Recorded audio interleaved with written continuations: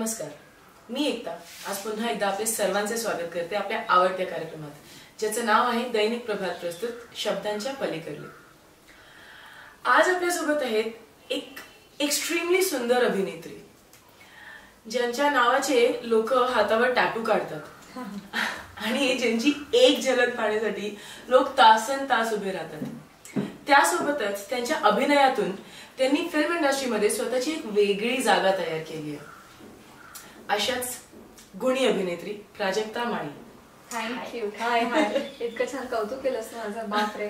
मला पण तुम्ही नको म्हणू ना. आपण ऑलमोस्ट सेम एजच्या तू done okay fine so that will be more friendly तर आय वॉन्टेड टू नो की तुम्ही ओके सॉरी तू.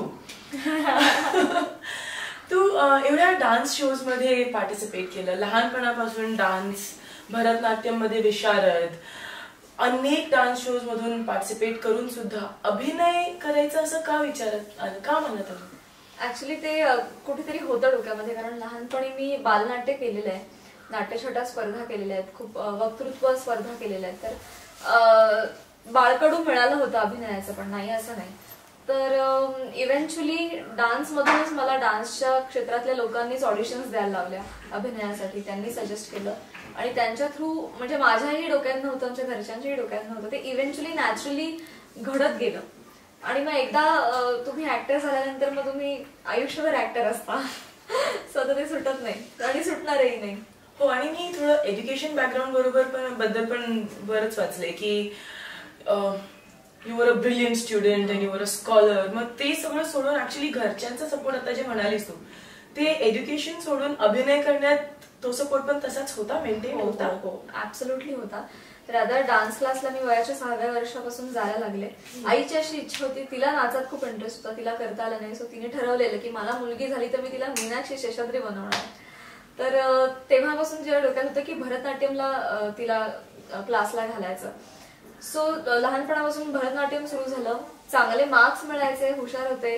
पण मग नववी पर्यंत मी जवळपास अरंगेट्रम पूर्ण केलं होतं भरतनाट्यम मधलं सो टेन्थ नंतर आमचं मेजर डिस्कशन झालं त्यावेळेस म्हणजे चिडाचिडी वगैरे की तुला जर डिस्टिंक्शन मिळालंय तर मग सायन्स घे. आणि मी माझं होतं की मग इतके वर्ष डान्स कशाला शिकतेय मी? हे कशाला शिकवलं? सो आता आर्ट फील्ड मध्येच मी गेलं पाहिजे. तर मग तेव्हा त्यांनी पण सपोर्ट केला की ठीक आहे तू म्हणते ते पण बरोबर आहे ऍक्च्युली सो ठीक आहे आर्ट्समध्ये जा. सो ते असं घडलं. ओके आणि मीनाक्षी शेषाद्री बद्दल आता काहीतरी बोलीस. त्याची काय भानगड एक्झॅक्टली तिला मीनाक्षी शेजारी फार आवडायची. आणि त्यांनी भरतनाट्यम केलेलं आहे रादर ते अजूनही भरतनाट्यम परफॉर्मन्सेस देतात. सो तिच्या डोक्यात असं होतं की क्लासिकल तेव्हा होतं आणि खरं तर फिल्म्समध्ये खूप क्लासिकल डान्सर्स ऍक्टर्स आणि हिरोईन्स असायच्या.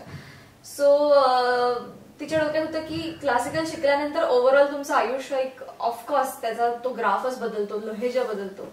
सो क्लासिकल डान्सिंग शिकवलं पाहिजे. तिच्या डोक्यात ते मीनाक्षी पासून होतं. अच्छा तर आपल्या घरातली मीनाक्षी शेषाद्री म्हणजे प्राजक्ता. आता हा. मराठी मीनाक्षी शास्त्री जुळून येते रेशीम गाठी. या मालिकेतून तू घराघरात पोहोचलीस अजूनही लोक तुला मेघना म्हणून ओळखतात. तर काय सांगशील लोकांना? म्हणजे ऑब्व्हियसली त्यांना सगळं माहिती आहे या मालिकेबद्दल पण तुझ्या रोलबद्दल किंवा तुला कसं फील झालं हे रोल करताना? खरं तर जेव्हा ऑफर झाली ती सिरियल तेव्हा मी नकार दिला होता. की मला नाही सिरियल करायची. कारण सुवासिनीला मी ज्या पद्धतीनं काम केलं होतं जवळपास मी दररोज सोळा सतरा तास काम करायचं दररोज. सो मी थकले होते आणि मला नव्हती मालिका करायची. आणि मी खूप ठाम होते. जर करायचं तर मग मराठी नाही मग मी हिंदी सिरियल करेन. मग अटलिस्ट पैसे तरी मला दुपटीने जास्त मिळतील. जे एवढं जर काम करायचंय तर. तर नाही आता मराठी नाही. पण आईचीच खूप इच्छा होती की नाही नाही मी झी मराठीची मालिका केलीच पाहिजे. झी मराठी आहे तू कर वगैरे. आणि माझा एक फ्रेंड आहे जो कास्टिंग डिरेक्टर होता तो म्हटला की हे बघ नॉनसेन्स नाहीये मालिका. किचन ड्रामा नाहीये किचन पॉलिटिक्स नाहीये. किंवा फालतूगिरी अजिबात नसणार आहे. खूप सेन्सिबल लोक काम करतात सिरियलमध्ये आणि खूप सेन्सिबल लोक प्रोड्यूस करतात आणि लिहितात सुद्धा. सो ते खूप चांगलं प्रोडक्ट असणार आहे फॉर शुअर सो तू कर. तर मी थोडं बरं वगैरे असं करत ते ते सुरू झालं. पण जसं लोकप्रियता मिळायला लागली आणि जसं अप्रिसिएशन मिळायला लागलं मला त्याची किंमत कळत गेली. आणि संपल्यानंतर तर मला आता असं वाटतं की तो माझ्या आयुष्यातला टर्निंग पॉइंट होता. म्हणजे थ्री सिक्स्टी आयुष्य बदललं रेशीम गाठीनंतर. मी रेशीम गाठीच्या एंडला मी मुंबईत माझं स्वतःचं घर घेतलं. म्हणजे इतपत ड्रास्टिक पर्सनल आणि प्रोफेशनल आयुष्यात बदल झाले.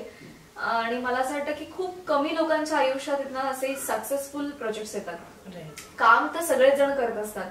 पण आता जसं शोले एक तो एक बेंचमार्क आहे. की आपण शंभर वर्ष होऊन सुद्धा आपण ती फिल्म ती आठवणीत राहणार आहे लोकांच्या त्याच्यापेक्षा जास्ती. तर ती सगळी जी कास्ट आहे ती मरेपर्यंत ग्रेटफुल असणार आहे त्या प्रोजेक्ट विषयी.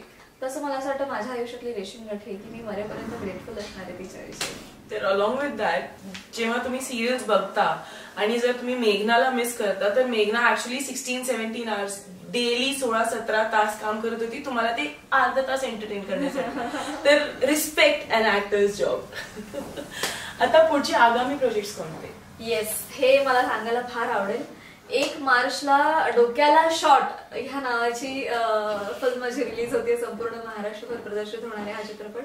तर हॅपनिंग कॅरेक्टर आहे कारण ह्या चित्रपटात मी एक साऊथ इंडियन मुलीची भूमिका साकारते आणि माझं नाव आहे Subbu Lakshmi Iyengar.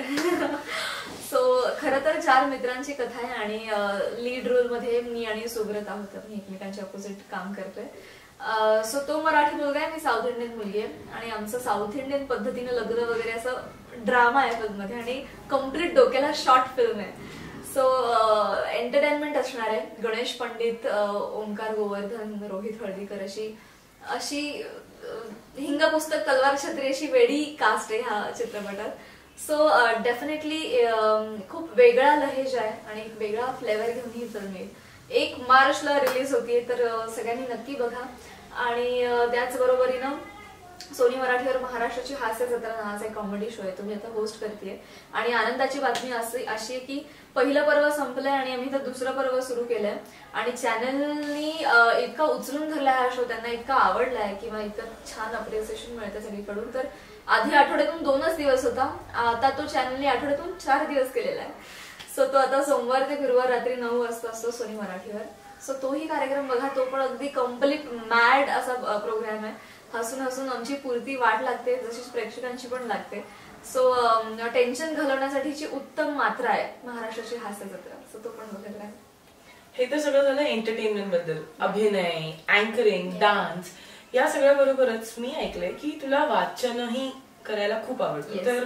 What kind of reading कुठल्या प्रकारचं वाचन करते? एनिथिंग एनिथिंग म्हणजे लहानपणापासून ही चांगली सवय मी म्हणेन की माझ्या हातात काही पडलं ना चंपक चांदोबा गृहशोभिका पासून काहीही तर मी वाचत राहायचे.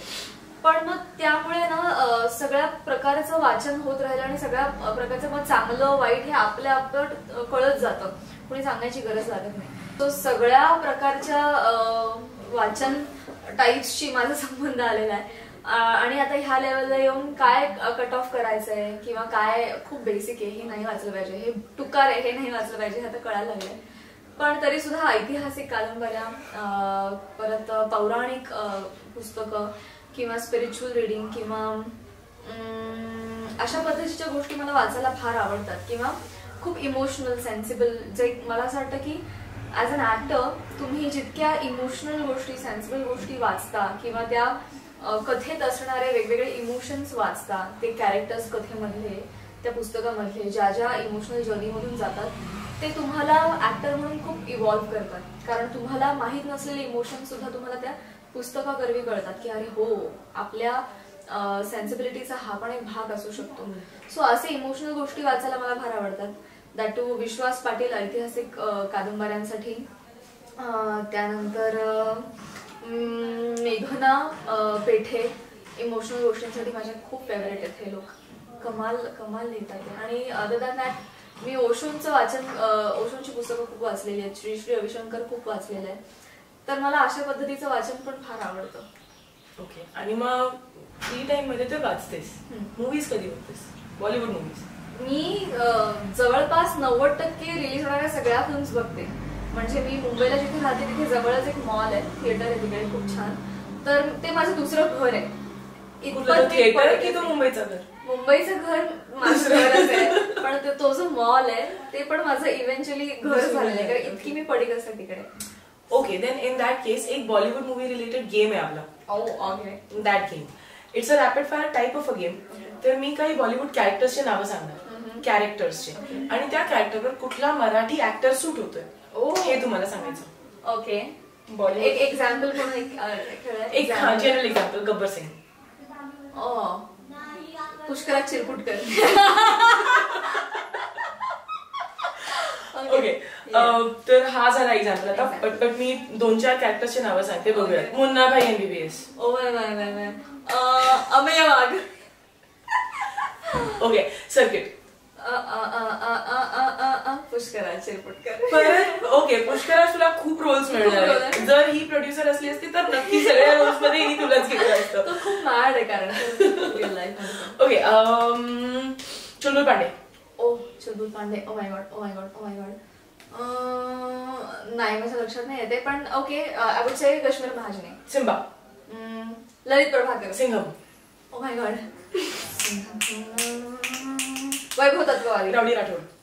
Oh my god Rowdy Rathore कोणीच नाही असं रावडी एवढं मराठी इंडस्ट्रीमध्ये तरी सुद्धा आय वुड से गोखले. एक विलन घेऊया Samba. Sorry Shakal. Shakal. Oh my god कोण आहे आपल्याकडे इंडस्ट्रीमध्ये थिंक अबाउट ना कारण शाकाल सब कुछ कर सकता है कंगी नहीं कर सकता. म्हणूनच मला कोणीच असं नाही नाही यार खरंच कमी केस असलेलं असं कोणी नाही खरं आपल्याकडे. कोणीतरी कमी केस असलेली व्यक्ती इमॅजिन करते. बट येस मला नाव आठवत नाही. आनंदी नाही नॉट आनंद निगडे नाही. त्यांच्यासारखे दिसणारे कोण आहेत? ज्यांनी झी मराठीवर सिरियल पण केली होती. ओ my god my god my god Vaibhav Vaibhav Bangle okay okay that was very quick मस्त. आय थिंक या गेममध्ये या एपिसोडमध्ये सगळ्यात जास्त मजा आली आज आम्हाला कारण खूप जास्त नावं घेतली आणि it was very quick quick quick, quick. So thank you so much इतके गप्पा मारले आपण मस्त मजा आली. Thank you so much my pleasure thank you